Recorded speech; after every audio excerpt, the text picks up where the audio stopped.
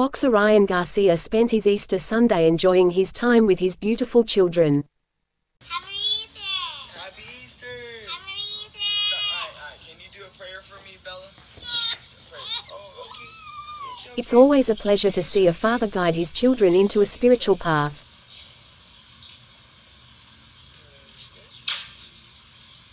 Can Yummy! you pray for us? Pray. Father in heaven, thank you for this amazing Easter. Thank you for joining my family together and we all having fun. In Jesus' name, amen. I love you. Give me a kiss. Give me a kiss. Okay, you can go play. Okay. It's a wonderful feeling to see a family with smiles on their face. Ryan had a mariachi play, while he did a little shadow boxing, letting us know he's ready for his next fight.